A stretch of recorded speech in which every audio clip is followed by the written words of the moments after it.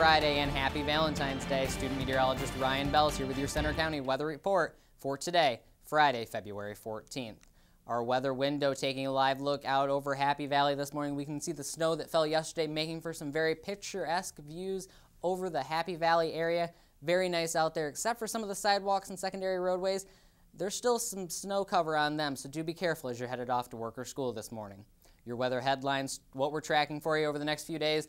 Blowing snow is the story for today. Winds out of the west 10 to 15 miles an hour, gusting upwards of 20 with the snow that fell yesterday. It's going to make for some blowing and drifting snow throughout Centre County. For tomorrow, though, scattered snow showers and even lingering a little bit into Sunday, but the best chance does come early tomorrow morning, and we're only going to get a light coating from this. We'll take a look at that in your future cast coming up. 40 degrees by late next week. That's not a typo. 40 degrees by late next week. We'll take a look at that in your seven day coming up. Temperatures, though, right now across Centre County 30 degrees here in State College, 27 at AccuWeather, 25 at Beech Creek. Wider view of the entire Commonwealth, upper 20s, low 30s is the story this morning. 28 in Williamsport, 26 in Johnstown, 32 in Pittsburgh. Off to the eastern portions of the state, Scranton, 28 in Philadelphia, 32 at 8 o'clock this morning. Wider view of our radar and satellite, we're looking at mostly cloudy skies throughout the entire Commonwealth. Scattered snow showers, very light in nature, making their way throughout the area this morning. Best chance for snow, like I mentioned, comes late tonight and throughout the day tomorrow. Wider view, like, look at this. The snow off past Chicago is going to quickly make its way to the east.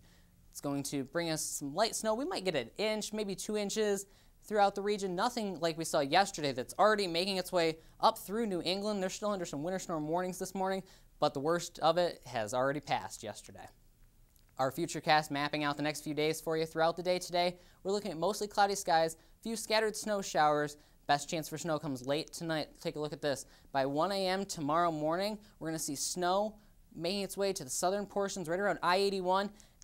Give it a few more hours, 7 a.m. We're looking at snow starting to spread across the entire Commonwealth. By 7 a.m., we could see some scattered snow showers, light accumulations from that system. For today, though, we're looking at your Valentine's Day forecast. Blowing snow, 32 degrees, your high temperature for today. For tonight, though, we're going to cool it down to right around 20 degrees with some scattered snow showers. And tomorrow, your Saturday, we're looking for highs in the 20s with intermittent snow showers. We could see a few peaks of sunshine, can't rule that out, but we're going to see the best chance for snow tomorrow morning. Your week ahead, mapping it out for you. Warmer temperatures are in store. Take a look at that. 20 degrees on Sunday. Cooler, but 33 for the beginning portions of the week, 37 Wednesday, 47 degrees on Thursday under mostly sunny skies. Very nice conditions are ahead in your seven day forecast. That's all from the Campus Weather Service in Centre County. We'd like to thank you for tuning in. Have a great day.